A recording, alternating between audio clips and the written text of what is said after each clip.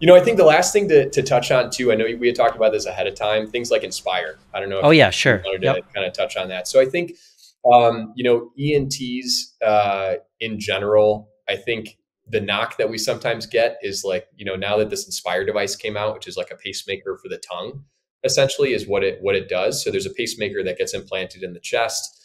There's a little incision under the chin where you find the hypoglossal nerve. So usually there's like a little sensor that goes between the ribs. There's an IPG or pacemaker type device, and then there's a little wire that gets attached to the hypoglossal nerve that when you turn it on at nighttime, kind of every time it senses a breath, it'll stimulate the muscle of the tongue to move forward. So you fall asleep and when it kicks on every time you breathe the tongue moves forward and then relaxes moves forward and then relaxes. Is this unit surgically implanted? That's underneath the skin? Correct yeah that sits on the pec muscle. So that's there's an incision over the chest where that whole unit so it's similar to comes from pacemaker technology.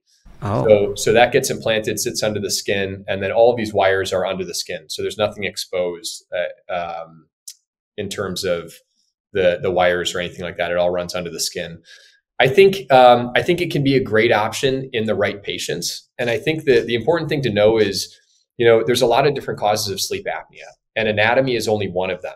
Uh, and so you think about jaw structure, really important thing. You know, almost all of us are skeletally deficient, and so um, I, that's an important component. But there, there was a study. There's a, a, group of of kind of respiratory physiologists at Harvard, Boston, uh, or Mass Ear that has published a lot of work on these different um, kind of phenotypes, it's called, of sleep apnea, where you know it's not just anatomy there's muscle tone that comes into it. And so one of the thoughts maybe is that you know if your jaws are underdeveloped for long enough the muscle kind of just burns out you know your your tone um, burns out so that when you're older all of a sudden you know even if you do an mma the tongue is still falling backwards or the muscle is still collapsing and so things like this can help improve the muscle tone, especially in older patients. So, you know, probably average age is like 65 for patients that get this Inspire. So it's a pretty non-invasive, you know, hour outpatient surgery to do that.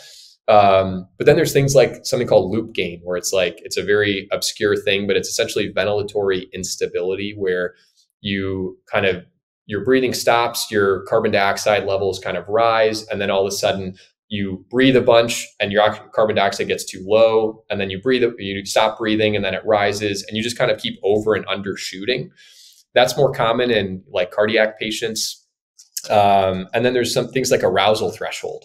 And arousal threshold is what we think about like light sleepers. And so if you have a low arousal threshold even small changes in breathing are going to cause these micro arousals where your brain is getting woken up out of sleep and so a lot of these patients, we think, you know, maybe the UARS spectrum, some some of those patients also have a low arousal threshold where, you know, it's not bad enough to to be classified as sleep apnea, but the breathing is deficient enough that causes all these disruptions from sleep. And so you wake up fatigued and you have all these symptoms of sleep apnea without, you know, desaturations or drops in oxygen level.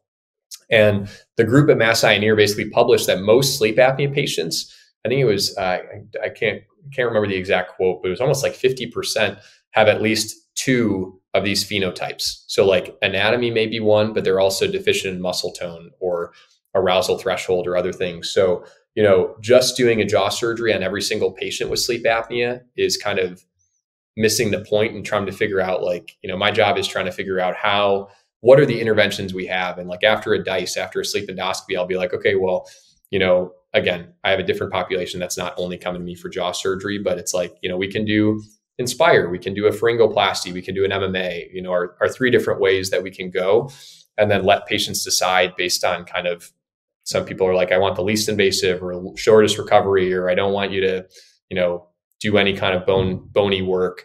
Um, so I think there's different ways to treat sleep apnea. And I think the important thing again is that it's not all a size of the room problem. I think that's an important part of it but there are all these other nuances that cause sleep apnea and it's important to kind of keep that in mind.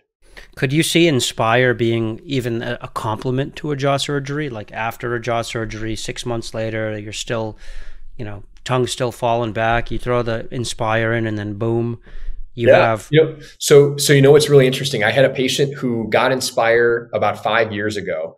He was i think in his late 40s now and did not work for him. So, you know, he came, he got it from from an outside guy, comes in to see me, and I'm like, you're super skeletally deficient. I mean, bimax deficiency, upper and lower jaws are set back.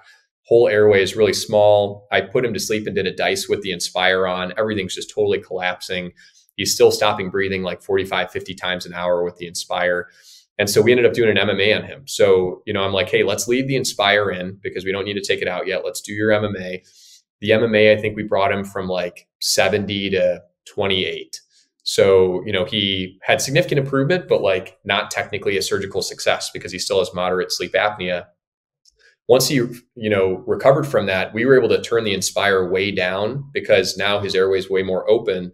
And now he's using the Inspire every night after the MMA. And now his residual AHI is like 10. Wow. So, so that's one where like, I think, you know, and Stanley Liu, you know, when I talked to him a couple years back, there's certain patients that like probably need multiple interventions uh, where you know the MMA can get you so far, but especially if you're older, if you've had skeletal deficiencies your whole life, like an MMA not be enough to change the muscle tension in the airway. Like your your muscles are too old to kind of retrain and tighten, even though the jaws are forward, and so they may need multiple interventions.